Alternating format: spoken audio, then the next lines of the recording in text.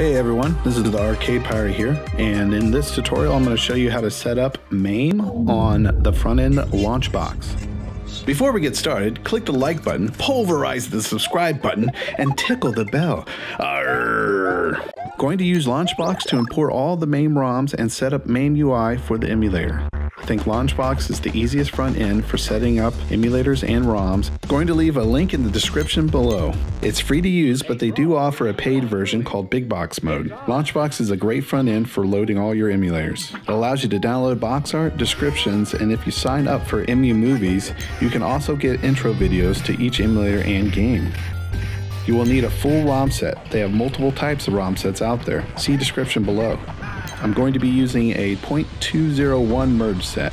Finding a full ROM set can be a little tricky. Unfortunately, I cannot provide direct links to the downloads, but if you search for the internet for MAME ROM sets, you should be able to locate a set. My set is about 63 gigs in size. If you do download an older ROM set, it will work with the newer version of MAME. When downloading MAME UI, you will need a zip program to open the software. I would recommend either WinRAR or 7-zip. See links in the description below. After you find a ROM set, you will need MAME UI. Type MAME UI download in Google. Click the IV slash play and MAME UI homepage. This should be the first link that you see. Link provided below. Download MAME UI 64-bit version 0.223. It's the newest version at the time of making this video. Extract the MAME UI 64 folder to the location on your computer.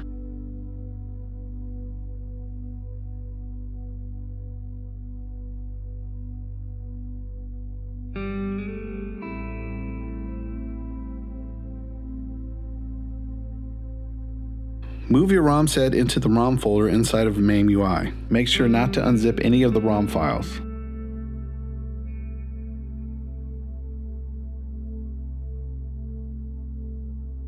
After loading Launchbox, navigate to the options, Task, Import, then select ROM files. Since all the ROM files are in one location, you'll select Add Folder. Navigate to the ROM folder inside the MAME UI folder and then click Next. For the platform, click on the drop-down and select Arcade. When choosing an emulator, we will need to click on Add and select the MAMEUI64.execute file.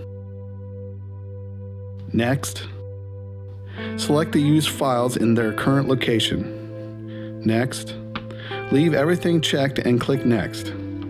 If you have an EmuMovies account, you can click the EmuMovies tab and sign in.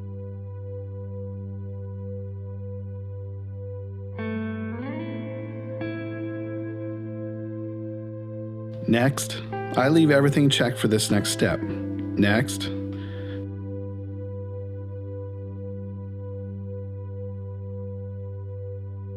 Finish. For a full ROM set, this will take some time to complete. I would go make a sandwich and watch Pirates of the Caribbean. Now let's talk about the mapping of all your buttons. Double click and enter a game, press tab on the keyboard to enter the config menu. Input General is a good spot for setting up menu controls and player button mapping. You can set up your command buttons in the user interface section, like configure, menu, pause, and exit. You can set your joystick commands and button layouts inside this location.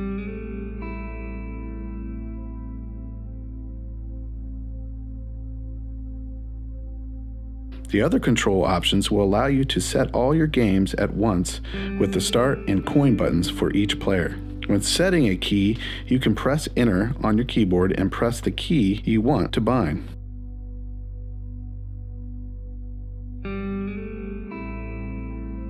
You can also set controls for just one game at a time through the Input This Machine section. This is the basic commands that you will need for setting up MAME in Launchbox. I will provide troubleshooting tips below for issues you might run into while setting up MAME.